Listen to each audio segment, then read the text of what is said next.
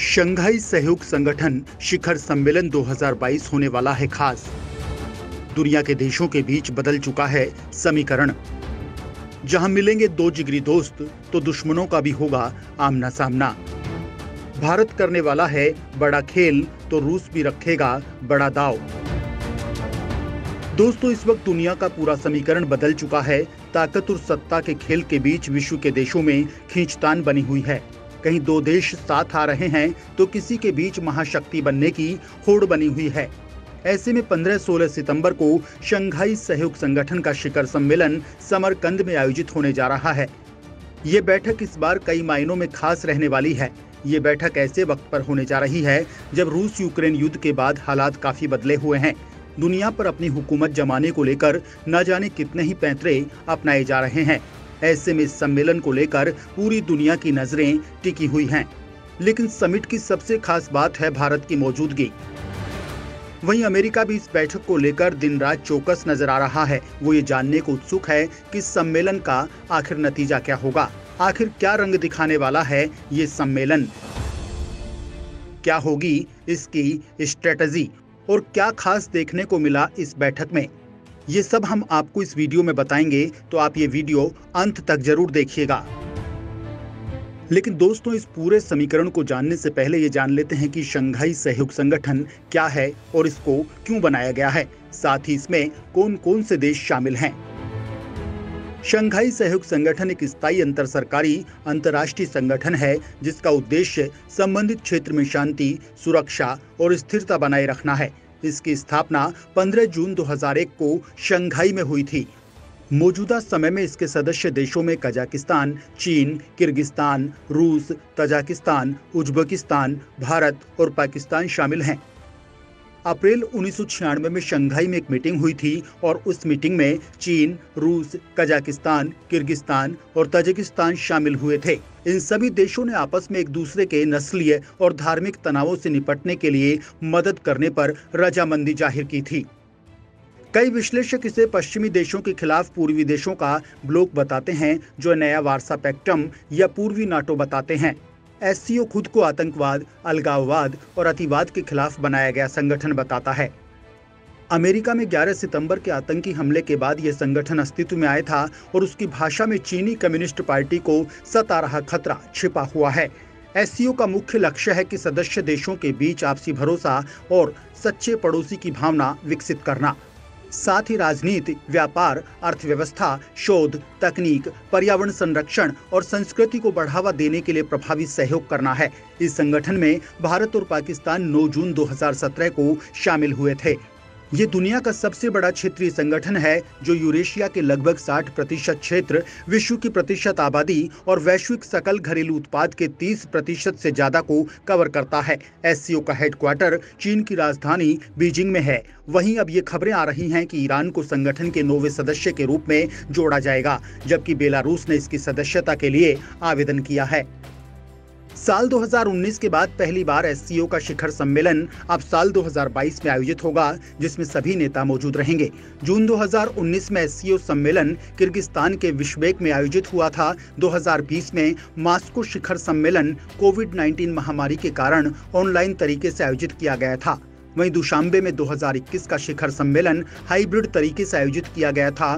भारत के लिए चौथा मौका है, जब वो एक पूर्ण सदस्य के तौर पर इस सम्मेलन में शामिल हो रहा है। इस बार होने जा रहा ये सम्मेलन काफ़ी खास होने वाला है। एस के शिखर सम्मेलन में पहली बार रूस यूक्रेन युद्ध के बाद प्रधानमंत्री नरेंद्र मोदी और रूसी राष्ट्रपति व्लादिमीर पुतिन की मुलाकात होगी। वहीं दो साल बाद पहली बार चीन के राष्ट्रपति शी चिनपिंग देश से बाहर निकलेंगे। आखिरी बार चीनी राष्ट्रपति ने 17-18 जनवरी 2020 को म्यांमार का दौरा किया था। वहाँ से लौटने के बाद कोरोना के चलते हालात बदल गए। उस वक्त से चीनी राष्ट्रपति चीन से बाहर नहीं गए हैं। पाकिस्तान के नए प्रधानमंत्री शहबाज शरीफ भी पहली बार पीएम मोदी के साथ मंच पर होंगे। चीन और पाकिस्तान इन दोनों देशों के भारत के साथ रिश्ते ठीक नहीं हैं और माना जा रहा है कि पीएम मोदी की इन देशों के नेताओं से वन टू वन मुलाकात हो सकती है। एक और जहाँ पाकिस्तान के वित्त मंत्री भारत के साथ कारोबारी रिश्तों को सामान्य करने की बात करते हैं तो वहीं दूसरी ओर शहबाज शरीफ हैं जो कश्मीर मुद्दे से आगे नहीं बढ़ सके हैं। अगर दोनों नेताओं की बैठक होती है तो वह साल 2015 में ऊफा में एससीओ की बैठक जैसी होगी। साल 2015 में ऊफा में एससीओ की बैठक में प्रधानमंत्री नरेंद्र मोदी और पाकिस्तान के तत्कालीन प्रधानमंत्री नवाज़ शरीफ के बीच छोटी सी मुलाकात हुई थी। इस मुलाकात के बाद द्विपक्षीय रिश्तों को पटरी पर लाने की शुरुआत हुई थी, लेकिन पठान पठानकोट में आतंकियों के हमले के बाद रिश्ते तनावपूर्ण हो गए। इसके बाद से रिश्ते लगातार तनावपूर्ण बने हुए हैं। वहीं भारत और चीन के बीच लद्दाख से लेकर अरुणाचल प्रदेश की सीमा तक तनाव चरम पर है। दोनों ही देशों के पचास पचास हज़ार से ज़्यादा सैनिक सीमा पर जमे हैं। लद्दाख के कई इलाकों में चीनी सेना ने अपनी घुसपैठ की है और कई दौर की बातचीत के बाद अब जाकर पीपी फिफ्टीन को लेकर समझौता हुआ है।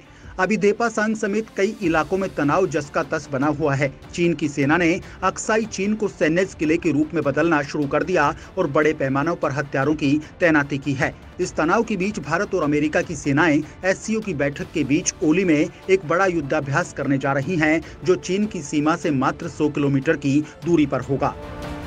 यही नहीं, यूक्रेन युद्ध को लेकर भी एस देशों के रुख में मतभेद है। यूक्रेन युद्ध में, जहाँ किर्गिस्तान ने पुतिन का समर्थन किया, वहीं तजाकिस्तान ने, जो रूस पर बुरी तरह से निर्भर है, वो दुविधा में है। इस बीच कजाकिस्तान ने खुलकर रूस के यूक्रेन पर हमले का विरोध किया है। रूसी राष्ट्रपति के साथ मीटिंग तय है, वहीं चीनी राष्ट्रपति शी चिनपिंग के साथ मुलाकात की ज़्यादा संभावना है।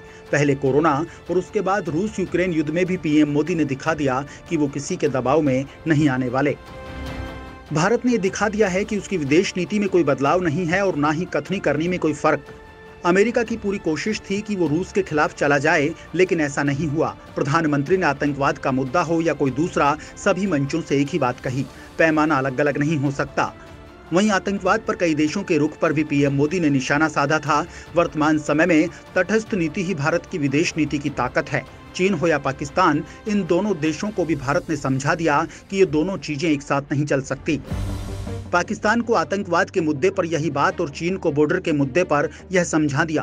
पूरी दुनिया ने इसका अब लोहा भी मान लिया। एस के मंच पर भी भारत की धाक देखने को मिलेगी। रूस यूक्रेन युद्ध के शुरू होने के बाद से ही रूस पर कई प्रकार के प्रतिबंध लगा दिए गए हैं। वहीं भारत बिना किसी दबाव में आए रूस से तेल आयात कर रहा है। कई मसलों पर अमेरिका की ओर से भारत पर दबाव बनाने की कोशिश हुई, लेकिन भारत अपने स्टैंड पर कायम रहा। भारत एक ऐसा देश है जो रूस और अमेरिका दोनों के ही प्रमुख संगठनों का हिस्सा है। भारत क्वाड का सदस्य देश है तो एस का भी है। दोनों ही खेमे भारत को अपने पाले में बनाए रखने की कोशिश में हैं। इससे भारत की अहमियत दोनों ही गुटों में काफ़ी बढ़ गई है। हालाँकि चीन के साथ तनाव को देखते हुए भारत पश्चिमी देशों के साथ रिश्तों को पूरी मजबूती देने में जुट गया है। भारत के विदेश मंत्री एस जयशंकर ने भी यह साफ़ कर दिया है कि एशियाई सदी का सपना तब तक साकार नहीं होगा, जबकि भारत और चीन हाथ नहीं मिलाते हैं। भारत चीन की दादागिरी को नाकाम करने के लिए क्वाश्ड देशों के साथ अपने रिश्ते मज़बूत कर रहा है। भारत का लक्ष्य अमेरिका, जापान और ऑस्ट्रेलिया के साथ मिलकर दक्षिण चीन सागर से लेकर लद्दाख तक चीनी ड्रैगन की दादागिरी पर लगाम लगाना है। चीन इन दिनों न केवल भारत के पड़ोसी देशों जैसे श्रीलंका, मालदीव को, बल्कि दुनिया के कई छोटे द्वीपीय राष्ट्रों को सस्ते कर्ज के जाल में फंसा चुका है। वहीं दूसरी ओर रूस यूक्रेन युद्ध में बुरी तरह से फंसा हुआ है और पश्चिमी देशों की ओर से बेहद कड़े प्रतिबंधों का सामना कर रहा है।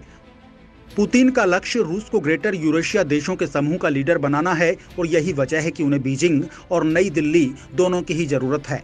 अब भारत को यह तय करना है कि वह किस तरह से एस और क्वास्ट के बीच संतुलन बनाता है। भारत रूसी हथियारों पर बुरी तरह से निर्भर है, इसलिए वह पुतिन को नाराज़ नहीं कर सकता।